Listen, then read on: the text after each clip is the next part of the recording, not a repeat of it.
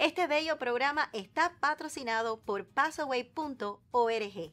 Bienvenidos a este bello programa Cadena de Vida que los espera todas las semanas, trayéndole tópicos importantes y transformantes.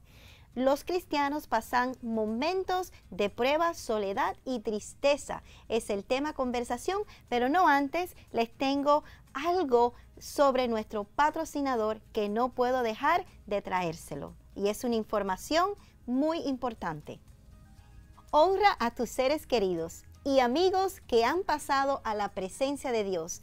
Plasma su legado y su historia de vida en pasoway.org. Vivirán mientras los recordemos. Visita pasoway.org. No olvides de visitar a la plataforma pasoway.org. Y ahora vamos a pasar a nuestro invitado de hoy. El pastor Ale Gómez se encuentra en Buenos Aires, Argentina, vía Skype. Pastor, bienvenido. Bueno, Dios te bendiga, ¿cómo estás, Elaine? Dios te bendiga. Bueno, muy feliz de estar acá, contento de estar con ustedes y a través de la tecnología poder estar juntos allí sentados en ese, en ese, en ese living contigo para que Dios pueda hacer cosas hermosas en aquellos que están viendo este programa ahora. Gracias, pastor. Yo me siento igual que usted, muy bendecida de tenerlo en el programa, de compartir estos tópicos tan importantes, porque las personas cristianas piensan que son intachables, que, que no pasan por, por pruebas, que no hay soledad en ellos ni tristeza.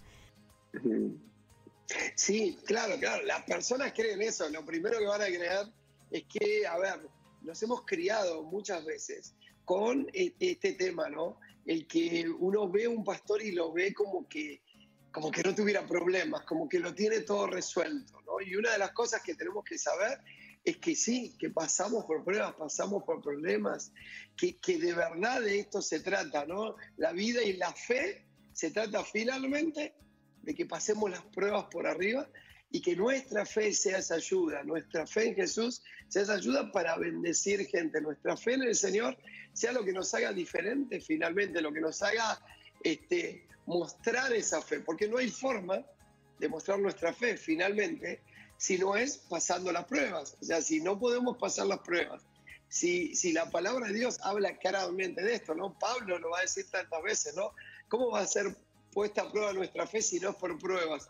Así que las pruebas son una bendición de Dios, son algo, un regalo de Dios finalmente para probar nuestra fe, ¿no? Y dice, eh, la Biblia va a decir Pablo, que tenemos que estar alegres y gozosos cuando estemos pasando por diferentes pruebas.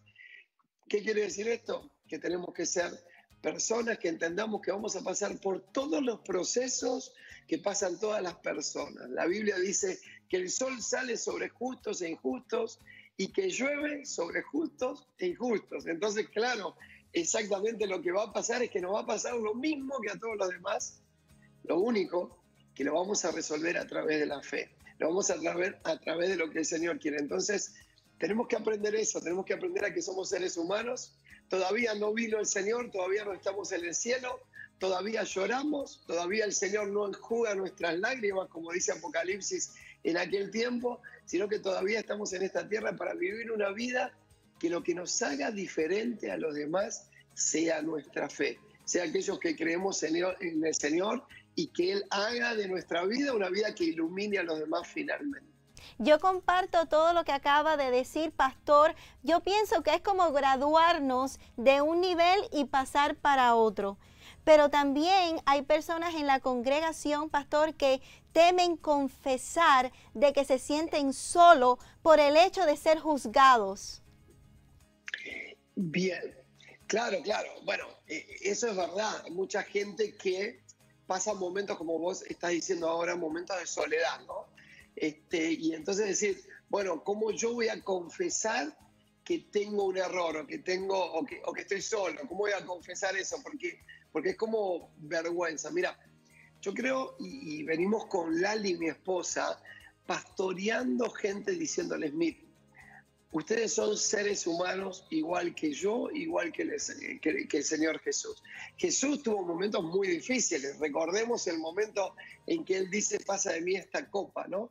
Si Jesús en un momento de intimidad con su Padre le dice, pasa de mí esta copa, ¿cómo nosotros no vamos a pasar momentos de debilidad, momentos de tristeza y como decías tú recién, momentos de soledad? Entonces, eh, no tengas miedo, no tengas miedo, porque en Santiago dice, confiésense sus debilidades, bueno, dice sus pecados unos a otros para que sean sanados. No hay forma de que seamos sanados de nuestras debilidades si no las confesamos, si no podemos hablarlo. Por eso es muy importante tener un consejero, alguien de nuestro, a ver, de nuestra confianza, lógicamente, pero un consejero espiritual al cual poder contarle por qué es bíblica la confesión. Sabes que muchas veces, Elaine, cuando hablamos de la confesión, creemos que estamos hablando de la iglesia católica. O sea, cuando hablamos de confesión, la gente cree que hablamos de otra religión. No, no, señores.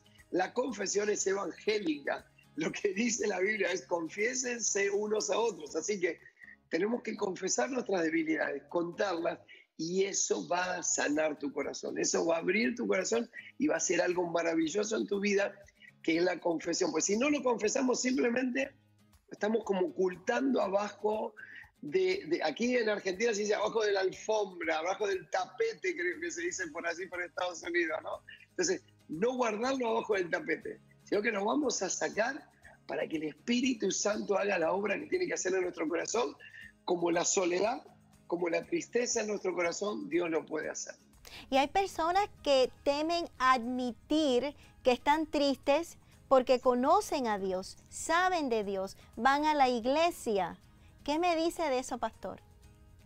Bueno, ahí es un poquito más todavía, porque tú te acuerdas que vamos a la iglesia y la gente en los templos ay, se pone tan feliz y ahora nuestras reuniones son tan alegres que pareciera que estamos dando un mensaje de, bueno, aquel que esté triste, no venga a la iglesia, ¿sí? Viste que dice como que la tristeza no es de Dios. Y yo la verdad, déjame contarte dos o tres cosas. Recuerdo gente que el sábado yo estaba haciendo el, funeral y estaban despidiendo a un familiar muy querido. Entonces lo primero que me dijeron es, pastor, miren, mañana no vamos a la iglesia, porque, porque así como diciendo, bueno, estamos de duelo, no podemos ir con esta cara a la iglesia. Yo lo que le dije fue todo lo contrario. Vengan a la iglesia, vengan a la casa del Señor, a la casa, a tu familia, porque en ese lugar vamos a llorar juntos vamos a orar por vos, vamos a vivir un momento, nos alegramos juntos y lloramos juntos. Por lo tanto, la tristeza es parte de un proceso espiritual. A veces la tristeza puede ser, como en este caso que acabo de contar recién, totalmente comprendida. Y lógicamente hay momentos de tristeza que a veces son por falta de nuestra fe o por cosas que nos sucedieron. Entonces yo a la gente le digo, miren, por favor, no vengan a la iglesia cuando estén perfectos. Vengan a la iglesia cuando tengan ganas de llorar, cuando estén tristes, porque los vamos a abrazar, los vamos a amar y Dios va a hacer algo maravilloso en sus vidas. Wow, me encanta, me encanta lo que acaba de explicar por el hecho de que las personas cuando sienten ese sentir se quedan en casa o se quedan con una amistad, con un amigo, con un familiar y realmente pues no reciben la bendición de Dios para que salgan de ese o ese sentir que los agobia, los entristece y les quita fuerza. Exacto, bueno, justamente lo que está pasando es que este, a veces lo que hacemos es escuchar, yo, tengo esta idea, ¿no? Como que tenemos una vocecita de un ángel y una vocecita de un demonio, ¿no? Que nos empieza a hablar. Entonces, creemos que eh, cuando el diablo dice, bueno, no, quédate en este lugar, porque es un momento como, como, como de recogimiento, como un momento para pensar. Y en realidad lo que no quiere es que escuches lo que Dios tiene para vos. ¿Sabes por qué, Elaine? Porque las mejores canciones, los mejores versos de la Biblia están escritos en los momentos de dificultad. O sea, cuando sale lo mejor de nosotros es increíble, en los peores momentos de nuestra vida muchos cantantes, muchos pastores, muchos eh, evangelistas han crecido en la, en la dificultad, en la tristeza, en la amargura. En ese momento es el momento para buscar a Dios, porque de ahí sale lo mejor de nuestra vida. ¿Por qué? Porque nosotros estamos vacíos. Pero cuando el Espíritu Santo nos empieza a hablar en esos momentos, Él empieza a llenarlo todo y nos llena de algo sobrenatural, que es la paz de Dios que sobrepasa todo entendimiento. La Biblia habla de esto, Es la paz que es a través de su Espíritu Santo. Entonces, cuando uno puede compartir esa paz, puede compartir ese amor, wow, los momentos tristes o los momentos de miseria o los peores momentos de tu vida se pueden convertir en los mejores momentos de tu vida. Es importante reconocer que el ser humano debe de tener dependencia en Dios, depender de Dios en todos los aspectos. Exacto. Bueno, claro, o sea, eh, la idea es que cuando reímos estamos en Dios, ¿no? Pero cuando estamos tristes y lloramos, también dependemos de Dios. Y la idea de dependencia es confianza. Uno, ¿por qué depende de Dios? Porque confía en Él.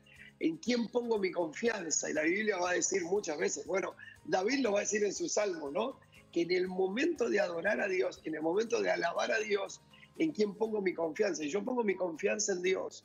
Por más que mi economía no esté bien. Eh, nosotros estamos aquí en Argentina viviendo un momento difícil. Nosotros somos la segunda economía peor de la región, ¿no? Entonces, primero viene Venezuela, después venimos nosotros. Entonces, digo, la gente a veces, eh, y ahora hubo cambio de gobierno, y la gente a veces este, pone su confianza, bueno, en, en el nuevo gobierno, en la nueva persona. Yo siempre digo, muchachos, tenemos que confiar y poner nuestra confianza y nuestra dependencia de Dios y confiar en Dios, porque cuando confiamos en los hombres o confiamos en las instituciones humanas, lo único que nos vamos a llevar es tristeza y amargura y nos vamos a decepcionar. Dios es el único que no decepciona.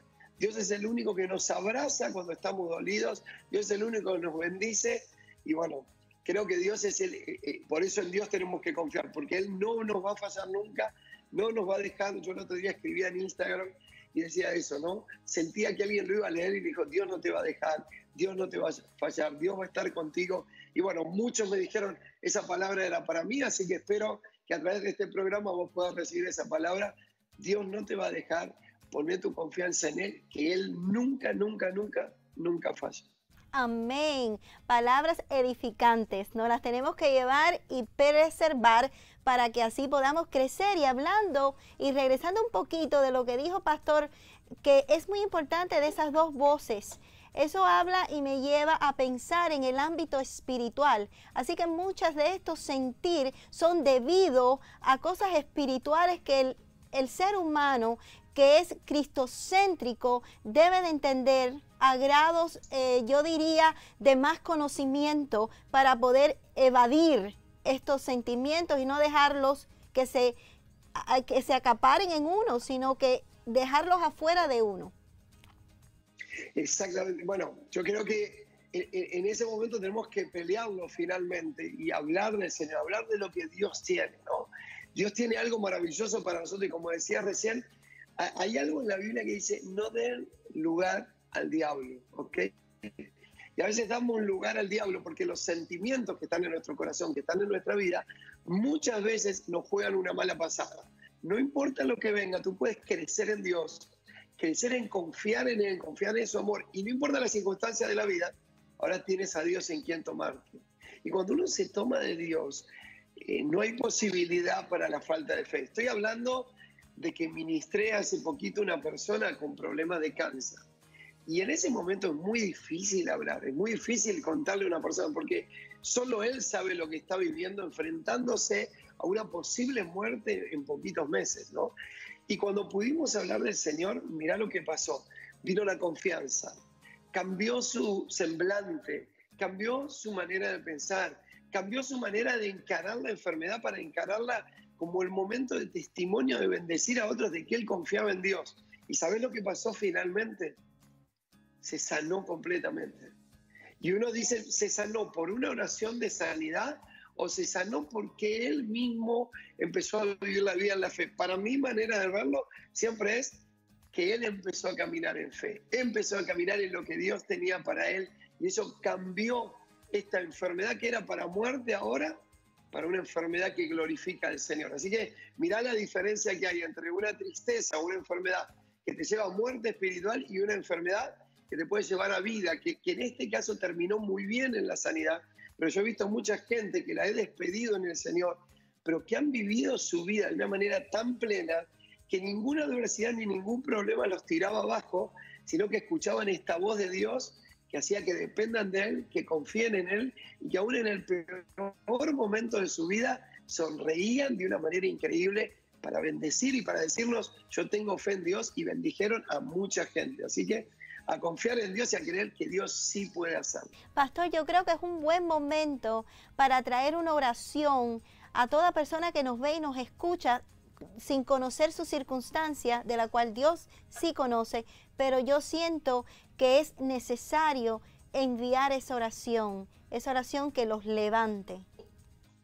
Dale, dale. Bueno, oramos, ¿te parece? Hacemos una oración a Dios, Padre, en el nombre de Jesús. Quiero pedirte desde aquí de Buenos Aires y así, Señor, en conexión, Señor. Padre, con Miami, queremos tu unción, tu presencia, Señor, en el nombre de Jesús sobre cada una de estas personas. Levántala, Señor. Toma sus corazones, toma su vida. Haz algo nuevo en sus vidas, Señor. En el nombre de Jesús, declaramos de que tú tienes el poder, Señor. La palabra dice, todo lo puedo en Cristo que me fortalece. Y hoy declaro esta palabra sobre cada uno de mis hermanos, Señor, que tú los vas a levantar, no importa las circunstancias, tú los vas a levantar, Padre. En el nombre de Jesús nos tomamos de ti. En el nombre de Jesús declaramos, Señor, que tu palabra tiene poder sobre cada uno de estos hermanos y amigos que hoy están viendo el programa. Bendecilos y gracias, Señor, porque tú nos levantarás. Gracias, Señor, porque desde el cielo en este momento vienen las nuevas fuerzas para levantar a nuestros amigos. Los bendecimos allí donde están. En el nombre de Jesús. Amén amén. Amén. Pastor, me llama mucho la atención todas esas imágenes que veo atrás tan bellas, tan bonitas. Y fuera de cámara me habías contado de que son eventos. ¿Qué tal si tomamos este tiempo para hablar de usted, de su familia, de su ministerio? Bueno, dale, dale. Este, bueno, te cuento un poquito. Bueno, aquí atrás, sí, como dices tú, hay, hay muchas imágenes, hay un poquito más con corazones, con eventos, con lo que Dios nos ha llamado, ¿no? Y en principio, este, lo lindo es que Dios nos ha llamado junto con mi esposa, ya hace varios años, a poder bendecir una generación, a poder bendecir a jóvenes, a poder bendecir sus vidas. Y, y, todo comenzó trabajando con jóvenes con problemas de drogas, pero luego digamos, bueno, ¿cómo llegamos a una generación que no conoce a Jesús? ¿Cómo llegamos a ellos? Y estos eventos tienen que ver mucho con eso, ¿no?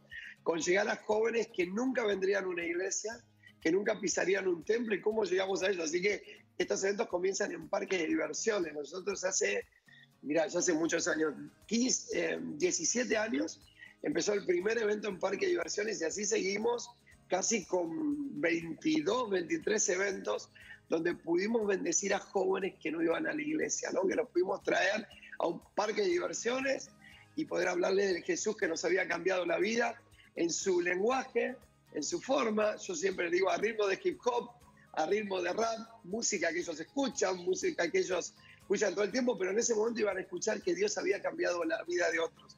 Tal cual como dijimos hoy, ¿no?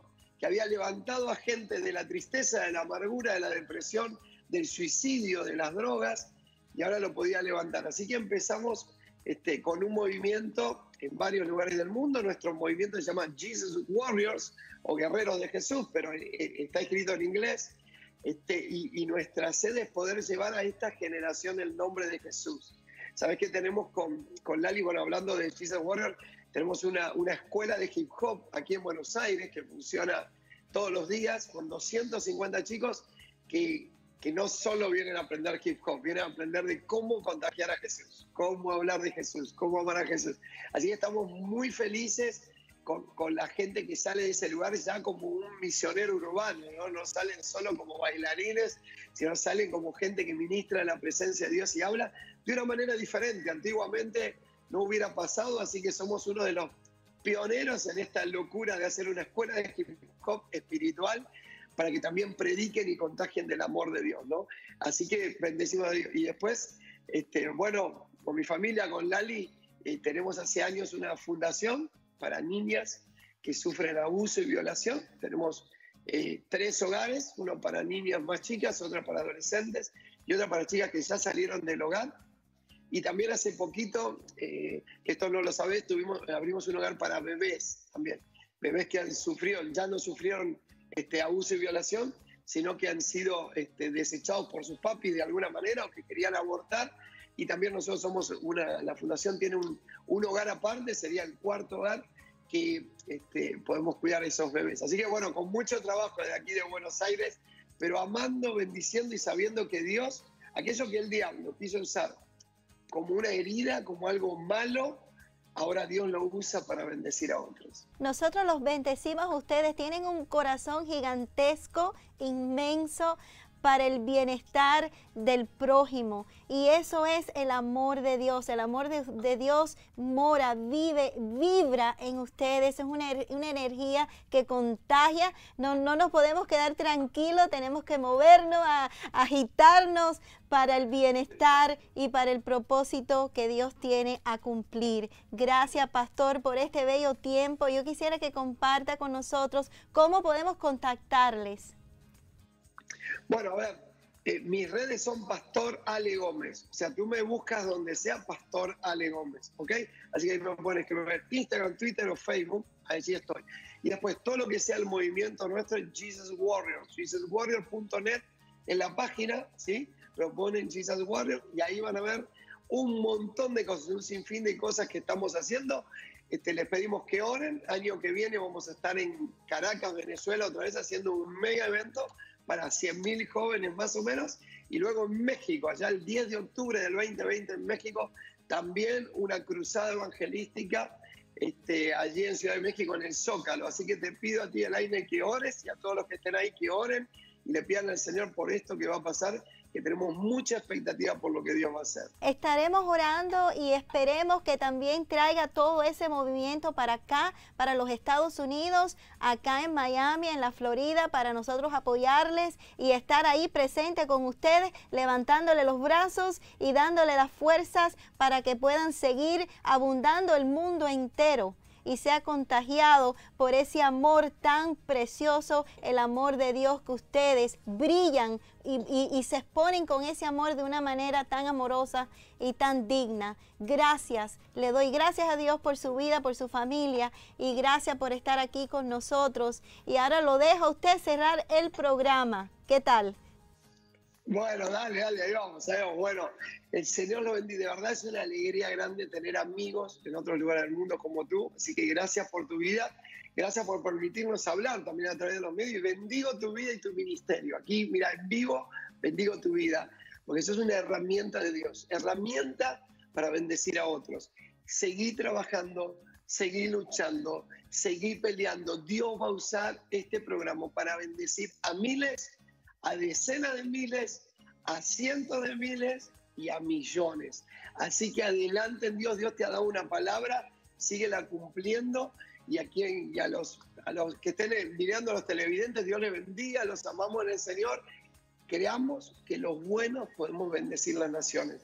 Seamos agentes de transformación, vivamos para bendecir a otros. Y alguien me decía esto y termino con esta reflexión. Mi pastor me decía, Ale, nuestra vela se va quemando día a día. Lo que tenemos que elegir es dónde se quema nuestra vela.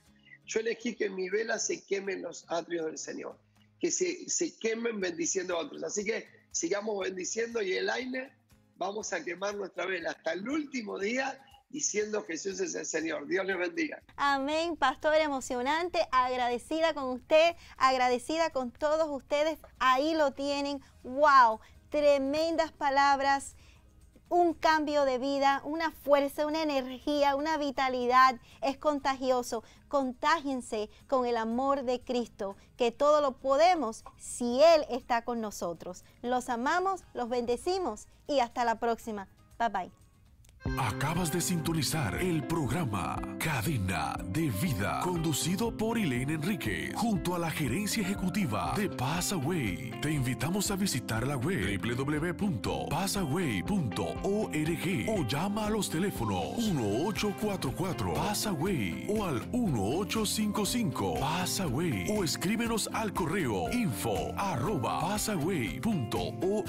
Te invitamos a sintonizarnos el próximo miércoles desde las 7 de la noche, solo aquí, por tu emisora favorita, OVM Radio y OVM TV, tu emisora informativa en línea para una vida cristiana mejor.